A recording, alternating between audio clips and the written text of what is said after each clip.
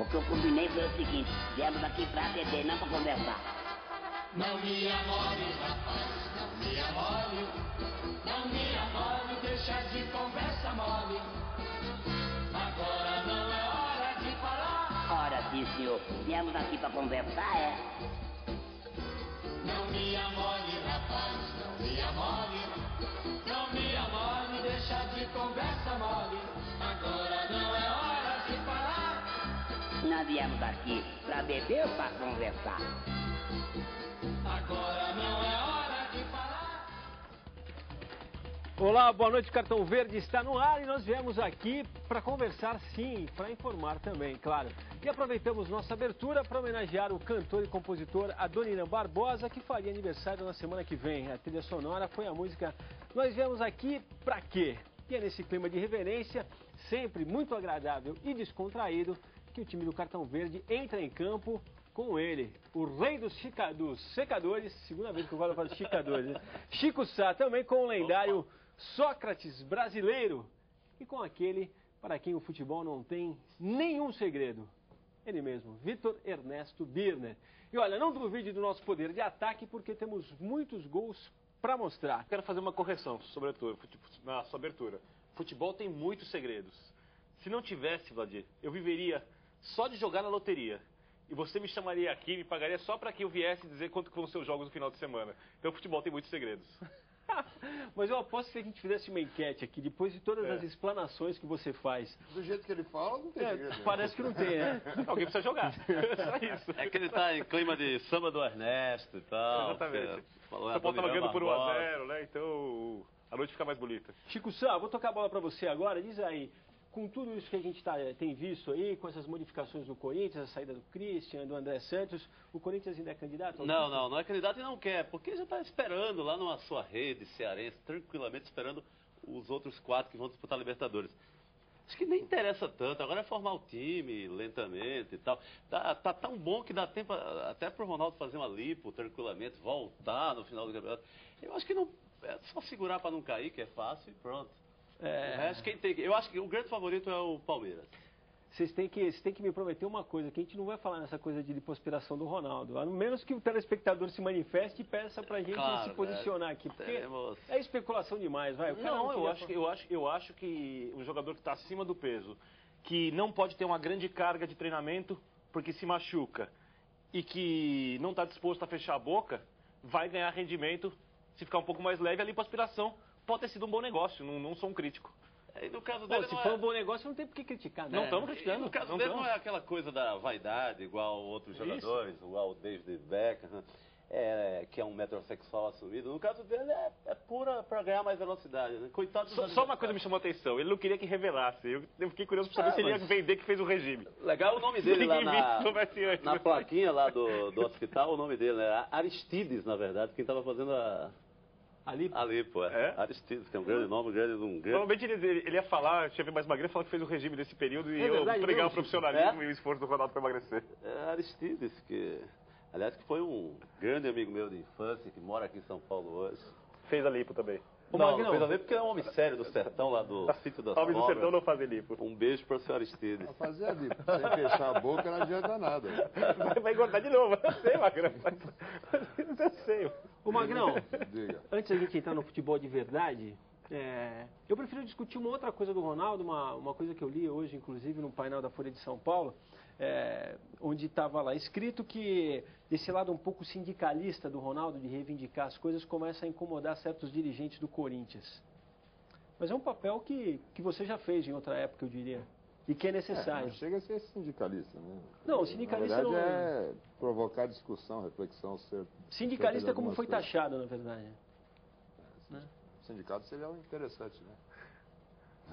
Sindicato dos atletas profissionais. É, Se eu tivesse que- uma organização. É, eu acho que o Ronaldo faz muito mais assim de. Porque tem um prestígio, faz muito mais uma, um jeitinho e tal. Era diferente assim de uma coisa mais é, para valer, como era a democracia corintiana, quando era, as coisas eram postas em votação, votava, segundo o Magão nos conta aí, noites adentro, era votava o cobra agora, né? votava o craque. Mas que ele cobra, cobra. É, mas assim, digamos, não tem uma, não tem uma noção política, digamos assim. É mais o. Chega lá no André assim, ó, faz isso, ajuda o menino, pá, o menino tá mal. Não é aquela coisa de vamos botar em votação, vamos fazer uma coisa organizada e para valer. Então, eu não creio assim. Seria mais uma bela qualidade do Ronaldo, mas eu acho que ele não tem tanto. Olha, na verdade, o questionamento ele é, ele é válido, sempre é válido. O sistema não gosta, né? É extremamente fechado. extremamente- Mas incomoda mais quando é organizado, né? Quando tudo, Ah, quando sim. é- seja no bairro, seja na escola, quando tem, quando é Associação, tem uma razão né? mais política organizada, incomoda mais. Eu creio que o Ronaldo é mais um cara que é Tem- tem uma- generoso, afetivo e luta pelos seus companheiros, mas não com razão mais política. Eu acho que o Ronaldo sabe da força que tem, entende quantos dirigentes do Corinthians são reféns do Ronaldo. Imagina se o Ronaldo sai do Corinthians, vai parar no Flamengo, no outro time agora. E quando tem algumas situações que incomodam demais o Ronaldo, como aquela da concentração da Copa do Brasil, ele fala. Ele fala e provoca sim, uma discussão. São bela- coisas, coisas de interesse dele É, e de quem ele gosta lá no grupo foi uma bela manifestação, né? Contra, E algumas delas são boas. Outras acho que são meio fora de hora. Depende de quais. O- os corintianos andam preocupados com a situação do time, isso é fato. Todos os corintianos, aliás, inclusive o nosso presidente da República, que é um deles. Veja a declaração. Estou meio chateado porque o Corinthians está vendendo tudo para jogador. Desse jeito vamos cair outra vez.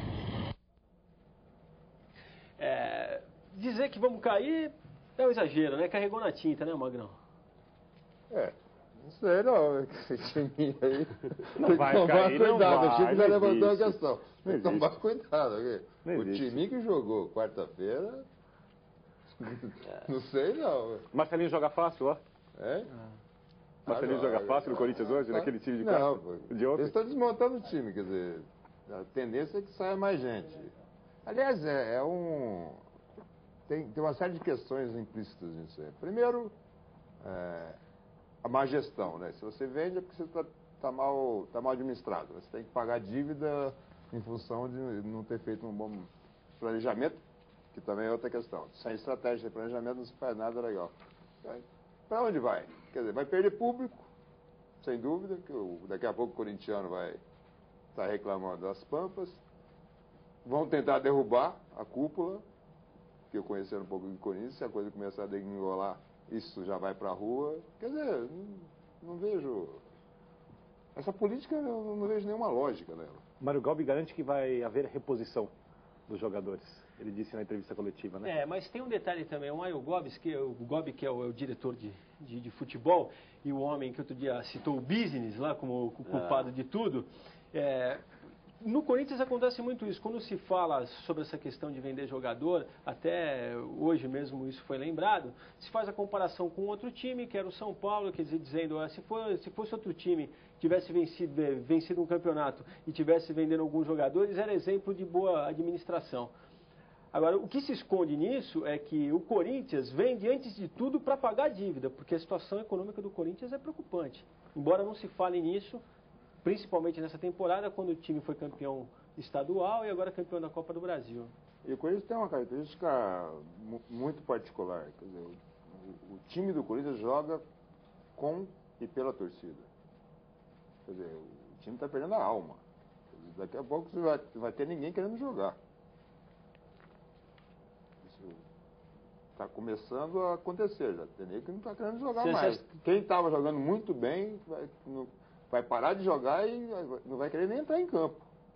Porque o time vai lá para baixo. Você está jogando no time, está jogando certinho. Tem tudo para ser campeão nacional também.